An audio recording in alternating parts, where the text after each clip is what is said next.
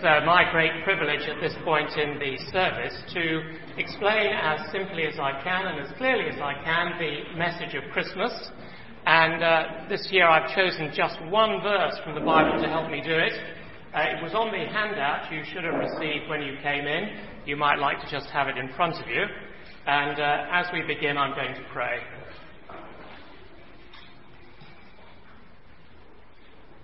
Heavenly Father, your word is a lamp to our feet and a light to our path. And Lord, we know we're living in a dark world, how much we need your light. Shine it into our hearts, we pray, in Jesus' name. Amen. Well, 2 Corinthians chapter 8, verse 9, do please put your nose on it. Uh, For you know the grace of our Lord Jesus Christ, that though he was rich, yet for your sakes he became poor, so that you, through his poverty, might become rich.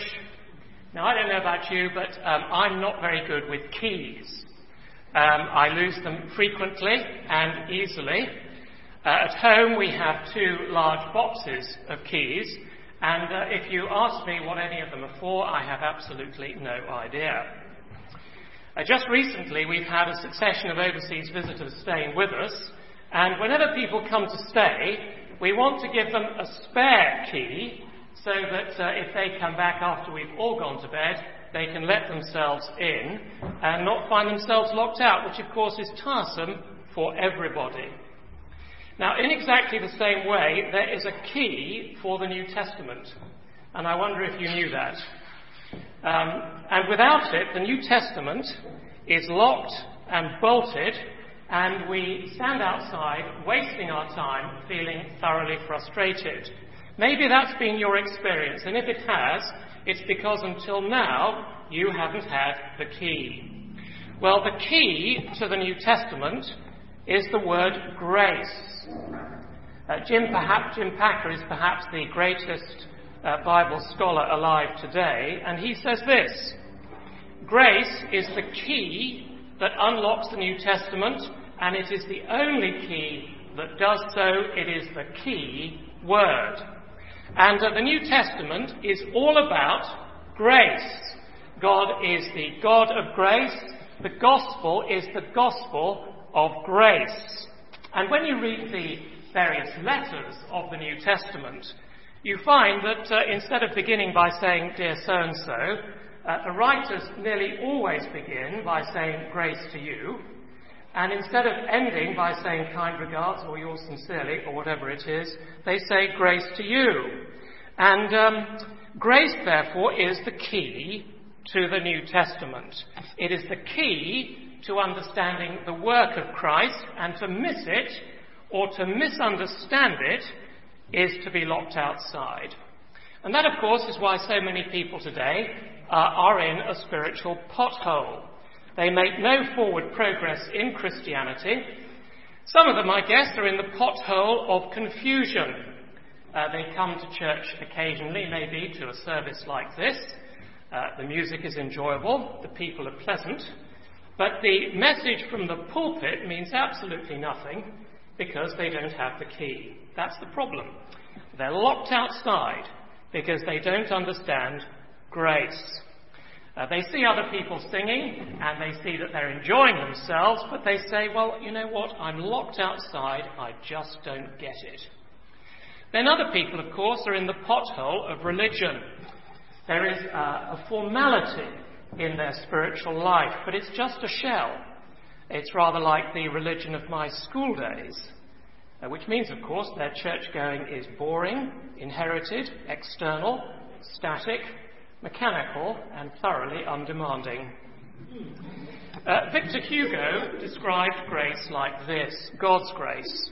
He says, Life's greatest happiness is to be convinced that you are loved. And I have to say that in 10 years of school chapel, I knew maybe just a tiny handful of men who were convinced of that. The majority hardly believed it. But that is the message. Most people never find the key. Other people, then, of course, are in the pothole of moralism. Uh, they say, Well, I, am doing my best. I try to live a decent life. And ultimately, I'll arrive at the gates of heaven and I'll rescue myself. So these people, you see, relate to God entirely through their own performance rather than through Jesus Christ. Uh, maybe there's someone in this room this morning and you can say, Yes, that is me. Um, are you trying to get to heaven through your own performance and not His? You see, for people like that, uh, Christmas is about God coming to reward their goodness rather than dealing with their sin and their rebellion. So think of Santa Claus in the Christmas grotto. Um, a little boy comes in, and uh, Santa says, Have you been a good boy? And the little boy lies and says, Yes. And Santa says, Well, here's your Christmas present. And that's, you see, how these people think about Almighty God. They think that at Christmas, God comes to reward their goodness. Now, my friend, if that is your key to the message of the New Testament, can I urge you to throw it away? Because the key to understanding the New Testament is grace. And uh, the text for this morning is all about grace. Let's look at it together again. This is a terrific verse to memorize, treasure, cut it out, put it on your fridge. 2 Corinthians 8, verse 9. For you know the grace of our Lord Jesus Christ that though he was rich, yet for your sakes he became poor, so that you through his poverty might become rich. Now let's put this verse in its context because we can't simply rip it bleeding out of its New Testament context and impose, as it were, our own interpretation. In chapters 8 and 9 of this letter, uh, the apostle is writing to Christians in Corinth uh, about a collection that he wants to take to the Christians in Jerusalem.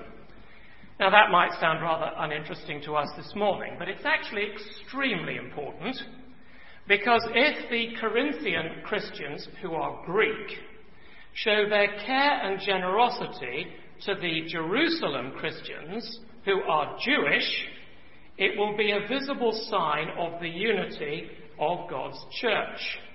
And you see, friends, that was the great miracle that Christianity brought into the ancient world. That in Christian churches, Jews and Gentiles started loving one another. That hadn't happened before. And that was what turned the ancient world upside down. Now, can I say that lots of churches in Cape Town, I think you probably know this, are largely monocultural. But in the first century, the church was not like that. It was multicultural. It was not monocultural. People loved each other across the culture, across the age gap, across the race gap. And Paul knows just how important that is. It's got to be done. And uh, therefore, Paul is concerned in this letter that the Christians in Corinth who had promised to send a financial gift the year before actually make their promise good. Now, in light of that, I think it's absolutely fascinating that in chapters 8 and 9, he never ever uses the word money. Not once. He only ever uses the word grace. Because, you see, generosity is a work of grace. Generosity is a symptom of God's grace.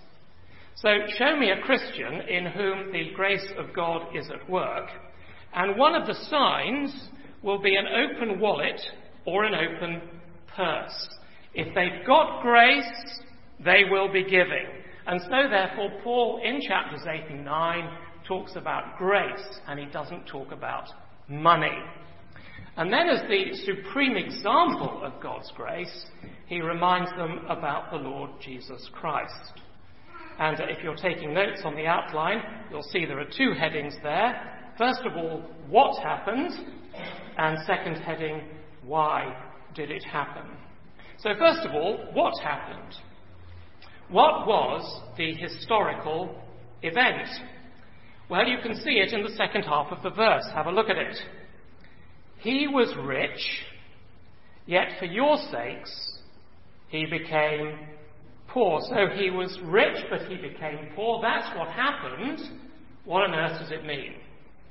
Well, it means that if we want to get to grips with who Jesus is and understand what he's done, we should not start with the Gospels and the New Testament letters. We've had some marvellous readings from the New Testament this morning. That's entirely appropriate.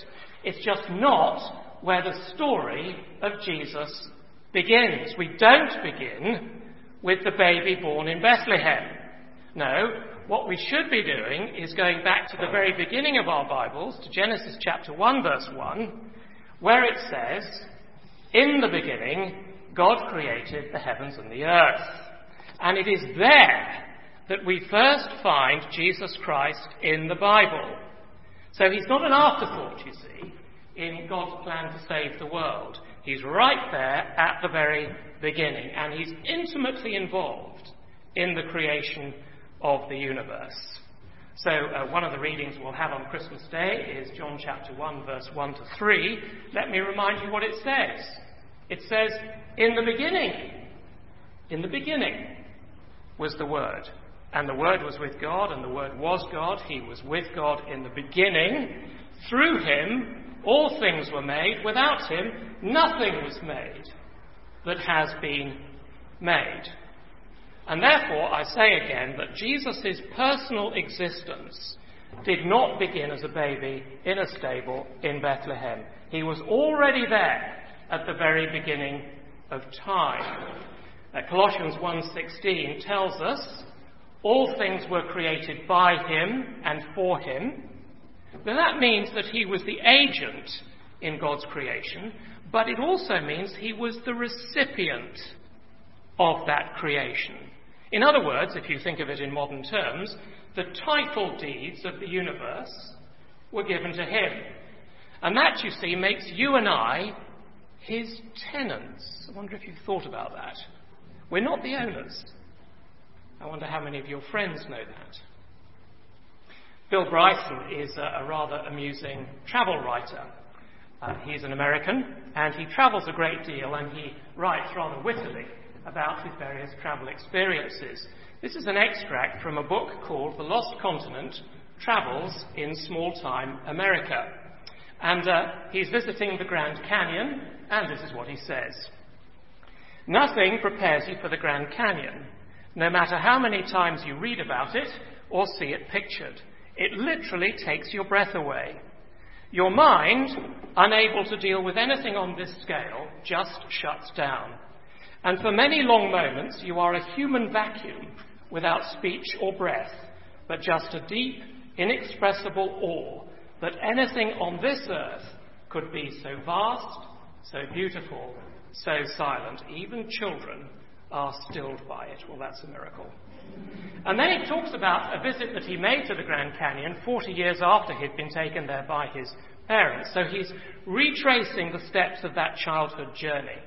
But it's a dreadful anticlimax uh, because he goes on a day when a, a blanket of fog has come down over the whole place. And he goes on to write this I, I shuffled over cautiously and looked down but could see nothing but grey soup. Uh, a middle aged couple came along and we stood chatting about what a disappointing experience this was. But then a miraculous thing happened. The fog lifted. It just silently drew back like a, theatre, a set of theatre curtains being opened. And all of a sudden, we saw that we were on the edge of a sheer drop of at least a thousand feet. Jesus, we said, and jumped backwards. And all along the Grand Canyon, you could hear people saying, Jesus, like a message being passed down a long line. And then for many moments, all was silence except for the fretful shiftings of the snow, because out there in front of us was the most awesome but silencing sight that there is on planet Earth.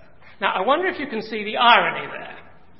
Uh, the one who made the Grand Canyon, the one to whom it belongs, because that's what our verse means when it says he was rich, the one who made the Grand Canyon is actually treated as a swear word. You see, as the greatness of the Grand Canyon is revealed, people are so blind that they only use its owner's name as a swear word. It is a breathtaking blindness. Uh, every year, as I'm sure some of you know, Forbes magazine publishes a list of the richest people in the world. I haven't made it in there yet. As a clergyman, I'm not expecting to. But it tells you what these people earned last year and what, where their assets are. And it gives the media something to write about for months afterwards, because let's face it, they haven't got much that's any use to say otherwise. And uh, what the Bible tells us is that compared to Jesus, everything that these people own is actually just a drop in the ocean. It's a speck in the universe. Because the reality is that Jesus owns the lot. Just think about that. It all belongs to Him. The earth, the planets, the stars in their billions, they're all His. Verse 9 He was rich. All of creation is His. He created it. He's the rightful owner. And yet, the message of our verse is that though He was rich, for your sakes, for your sakes, for your sakes, He became poor. He gave it up. He laid it aside. Actually, that phrase translated literally is He impoverished Himself. He became a beggar. So let's try and get our minds around this for just a moment. Let's uh, go back in time, 2027 years. Uh, that's four years before the Lord Jesus was born. What was Jesus doing then? Well, he was enjoying the fullest and the finest and the richest fellowship with his Father. Now, the problem you and I have with that is we don't have the categories to describe it. As I said a bit earlier, we've just recently had a, a, steady stream of visitors staying with us in our home for our younger daughter's wedding. It's been marvellous taking them round and showing them the sights, all the usual things, Table Mountain, Chapman's Peak, Camps Bay, Hermanus, and so on. We, of course, know all of these places so terribly well that we take them for granted.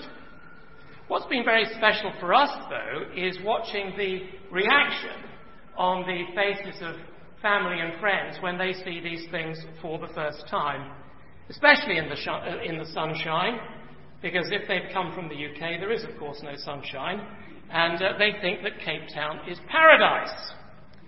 And yet, and yet, however beautiful these places are, the Bible says, no eye has seen, no ear has heard, no mind has conceived what God has prepared for those who love him. 1 Corinthians 2.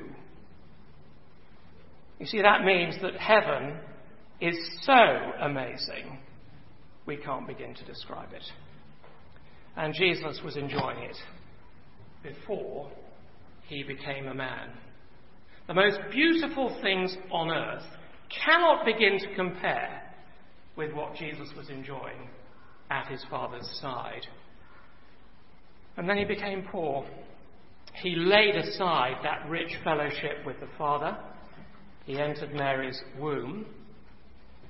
Now, can you imagine the angel Gabriel's reaction to all of this? I was thinking about that during the week.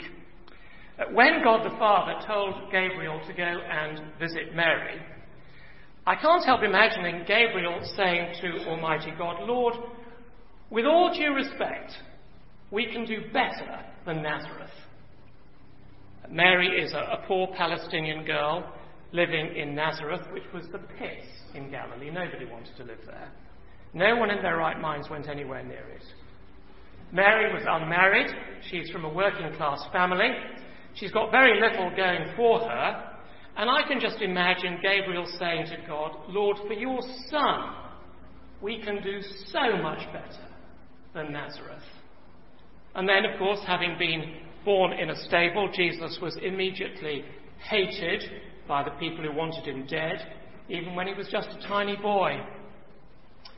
I don't know whether you know this, but just after Christmas, there is a festival in the church calendar called the Slaughter of the Innocents.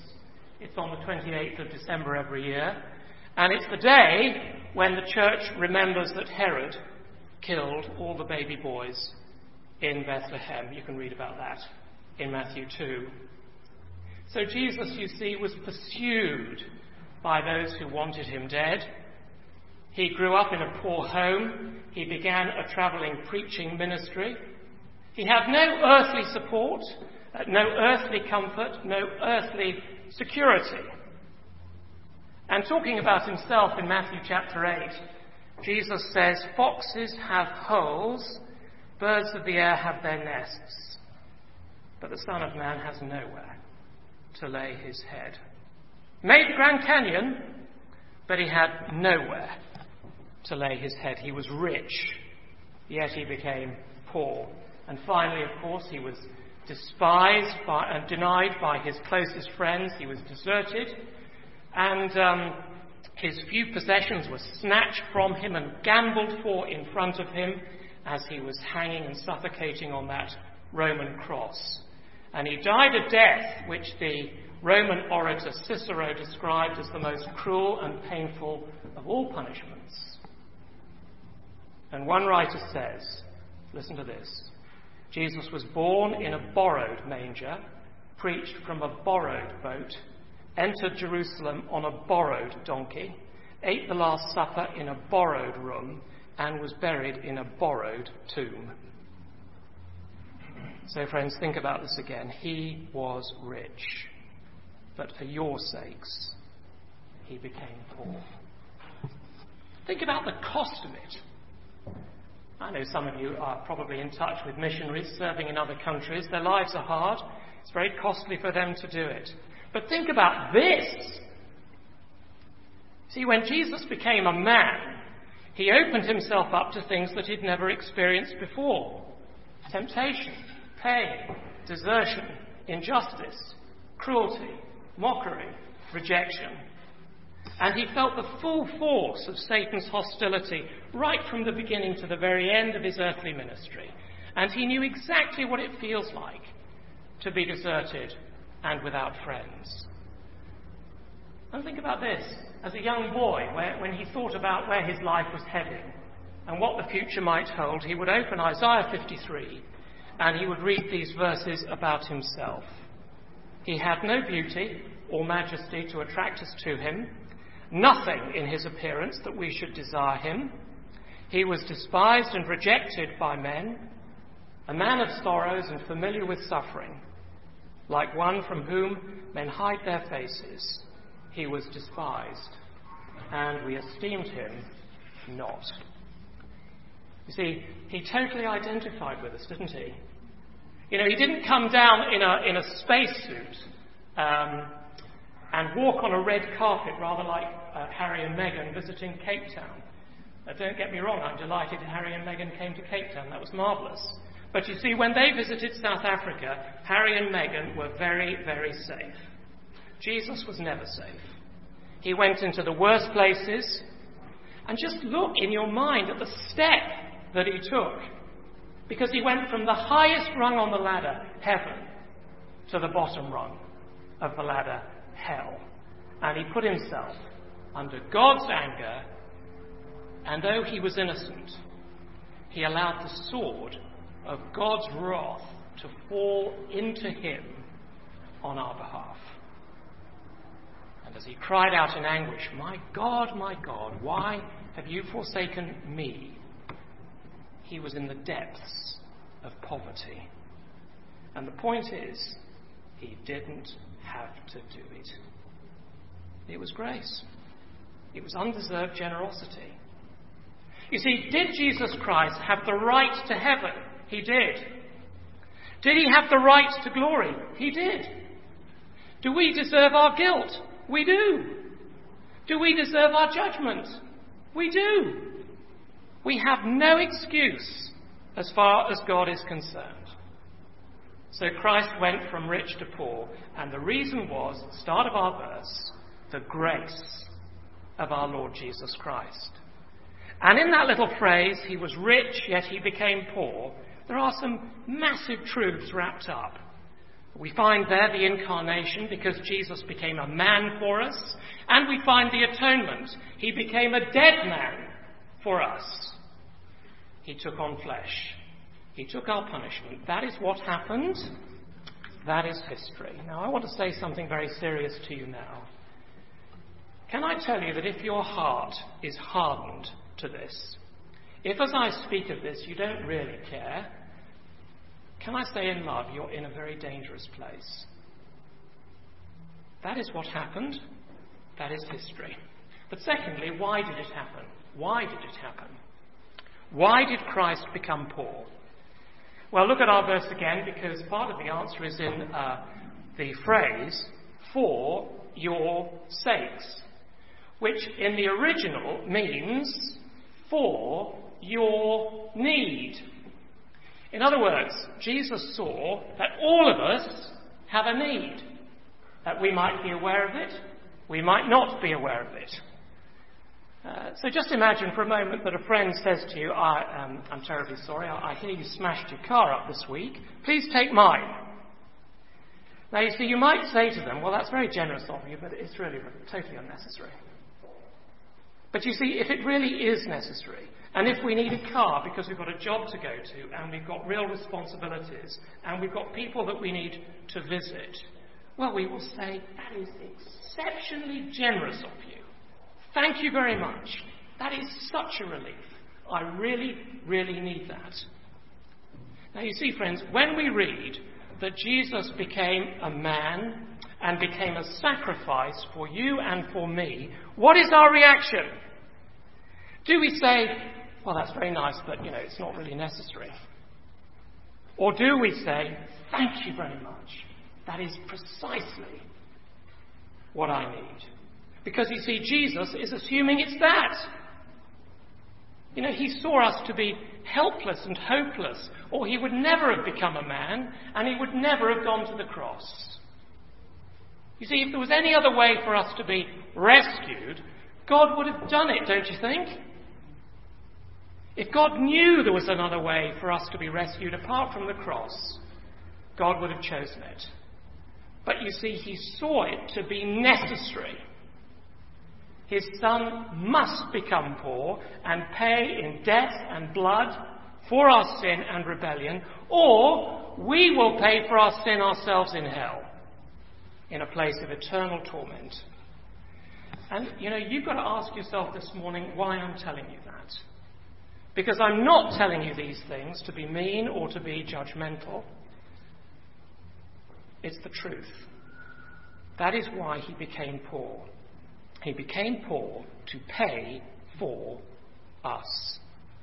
And you see, when it comes to needs, think about needs. You see, so many people have this kind of tough external layer of self sufficiency, don't they? I'm sure you can think of people like that. There are going to be people that you meet this Christmas, and uh, they will look happy and healthy. Uh, they will look normal, rational, sensible, balanced, intelligent. Some of them might even be rich. But Jesus, you see, he looked down and he saw all these people looking healthy and happy, self sufficient and satisfied, and he said, No! They do not know God. They're on borrowed time. They're making a name for themselves and a kingdom for themselves, but their kingdom is going to perish, and so will they. So for your sakes, he became poor. And at the end of the verse, he gives the reason. Can we see it at the end of the verse? That you, through his poverty, might become rich. Now, what on earth does that mean? Well, for a start, it means rich in forgiveness, rich in a clear conscience before Almighty God. If you're anything like me, as you look back over your life over the past year, there are things you've said and done that you wish you hadn't. But if you're a Christian, your conscience is completely cleansed because it's been dealt with by Christ. That is what it means to be rich. Also, rich in friendship with God. You know, there are times when we feel very lonely. I do, I'm sure you do. But you see, I know that by His Spirit, Christ is with me. That is rich. Rich in God's strength to cope with each day. Uh, some of you are going to be looking at the year ahead and you've got butterflies in your stomach because there are all kinds of uncertainties. You don't know how you're going to deal with them. But Christ is with you. And if you are a Christian, you are rich in his presence and you are rich in his strength. And also rich in the certainty of eternal life. Uh, I discovered something I didn't know this week. Um, that the Puritans um, used to take their young children to the deathbed of their Christian friends and family. And they said, Watch this man die, watch that woman die, and see what you have got in Christ. Imagine doing that with the children at Sunday school. I think the parents would probably be reaching for the smelling salts. It's not a bad idea, I have to say. But what I want to say to you is that if you are not rich like this, the whole point of Jesus coming into the world at Christmas has eluded you. You are meant to be rich like this. This is the Christmas jackpot. And if you don't understand these riches, you have not yet found the key to your life. And if you turn your back on this, and that you give yourself to the pursuit of a name and a reputation and a kingdom for yourself, that is desperate poverty. Because the Lord Jesus himself said, if you gain the whole world and yet lose your soul, that is terrible, terrible poverty. Because it all belongs to him, Grand Canyon and all. But Paul says, for your sake, Jesus became poor so that you, through his poverty, might become rich. And all of that is undeserved generosity. Can you see the phrases in the verse? Let's drill it in. Have a look at it. Yet for your sakes he became poor so that you, through his poverty, might become rich.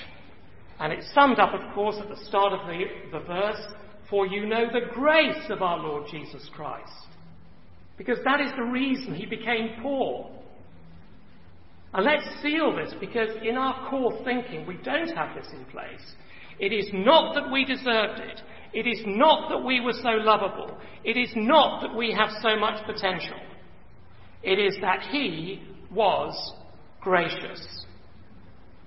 And it's because a fountain of undeserved generosity lay in the heart of Jesus Christ for me and for you. And it is undeserved, it is unrepayable, and it is unconditional.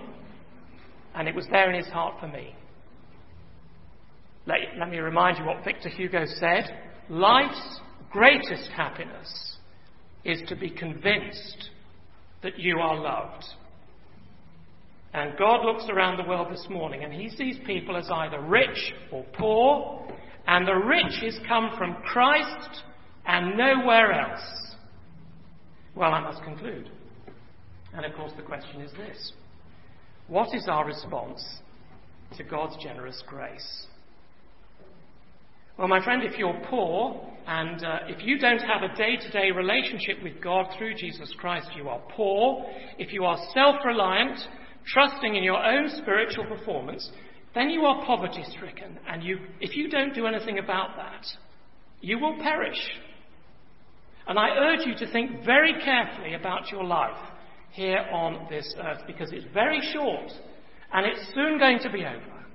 And I want you to see this morning that Christ became poor for your sake so that you might become rich in forgiveness, rich in friendship with God, rich in eternal life because those are the gifts of Christmas. That is the Christmas jackpot. And our verse calls all those who are poor whether they feel like it or not, to come to Christ and take his riches. Now, you can do that immediately after this service because some of the team are going to be standing at the back of the church. You can go and talk to one of them, and they'll be happy to pray with you and lead you to Jesus this morning.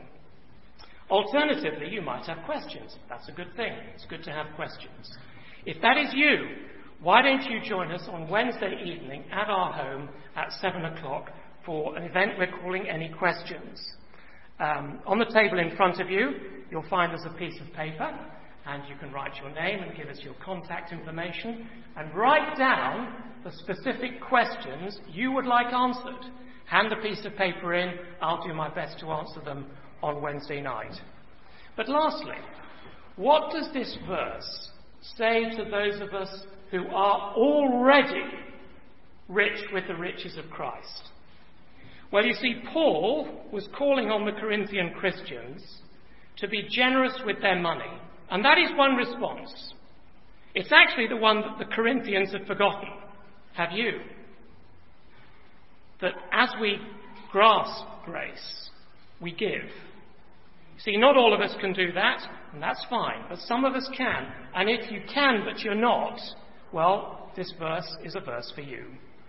But even more important than that, this verse is calling every Christian to be thankful. That's actually the only application I want to leave with you this morning. Be thankful. You see, the New Testament says that people who've been converted to Christ are thankful to God.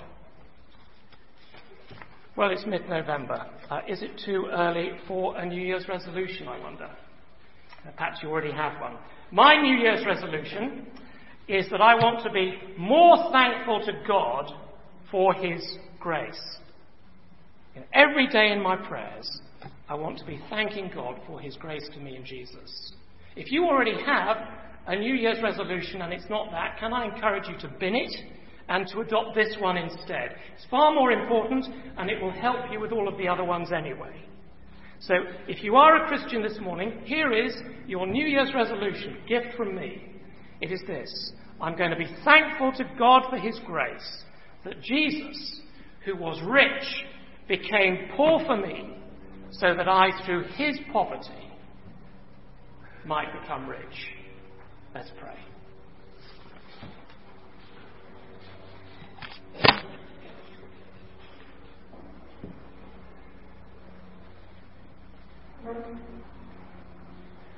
Father God, we are so sorry that often we have not been thankful for your grace. And Father, as we think of that ingratitude, we thank you that Jesus died so we can be forgiven. And in the year ahead, we ask that our lives would be marked by great joy because we are just so thankful for what Christ has done. Amen.